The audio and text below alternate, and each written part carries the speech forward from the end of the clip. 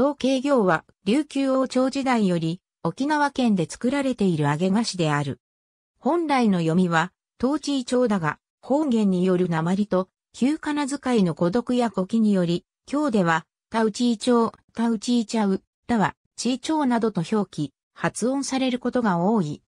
統計業は、ごまあんと、きつ餅を、小麦粉にラードを練り込んだパイ生地で、半円形に包み、終円部に、餃子のようなひだをつけて揚げた菓子である。揚げた後のひだが鳥のトサカのように見えることから、名付けられた。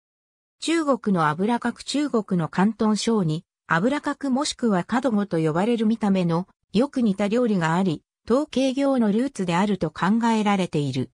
ただし、油角の生地はもち米を使用して作るもので、現在の沖縄で作られているパイ生地で包む統計業とは味や食感が大きく異なる。油角は香港を含む関東語話者が多く居住する地域では一般的な軽食であり、旧正月の料理として多く供される。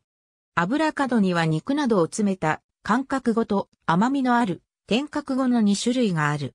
感覚語に詰める材料は地域により大きく異なるが、一般的に豚肉、腸詰め、椎茸などを用いることが多い。材料に豚肉を使用しているため、感覚語は油を多く含む料理である。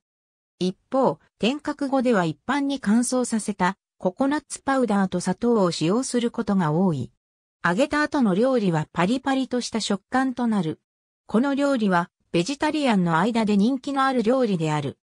英語ではオイルダンプリング、クリスピートライアングルズ、フライドオイル、dumplings、New Year dumplings、Chinese New Year dumplings、oil horn、pot stickers など様々な名前で呼ばれている。ありがとうございます。